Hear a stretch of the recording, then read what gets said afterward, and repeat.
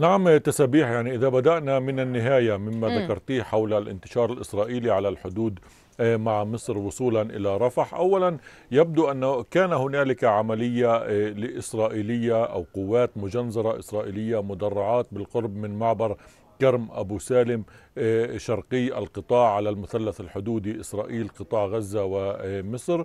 وهذه القوات ربما آه، حاولت الدخول قليلا إلى آه، داخل قطاع غزة.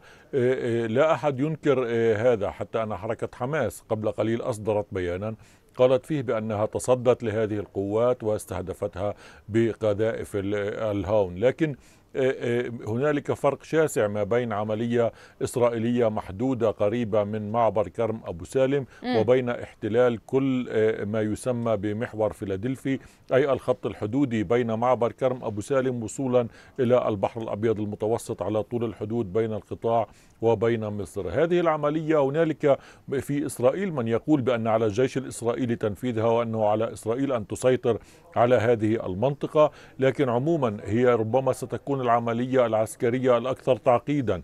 اولا بسبب التبعات السياسية لها يجب أن تحصل إسرائيل على موافقة مصرية وعلى تنسيق مع الجيش المصري من أجل إجراء مثل هذه العملية. ثانيا بالأمس تم التصويت على قرار في مجلس الأمن الدولي يدعو إلى مزيد من المساعدات الإنسانية التي تدخل إلى القطاع وسيطرة إسرائيل أو عملية عسكرية إسرائيلية على طول الحدود مع مصر ستعيق إدخال المساعدات الإنسانية هذا إضافة إلى آه، آه، آه، عدم الرغبة الأمريكية بالحد الأدنى على الأقل عدم رغبة إن لم يكن فيتو أمريكي على مثل هذه العملية العسكرية الإسرائيلية لأن أولا كل تقريبا سكان قطاع غزة باتوا في الجنوب قسم كبير منهم في منطقة رفح وبالتالي عملية نعم عسكرية نعم.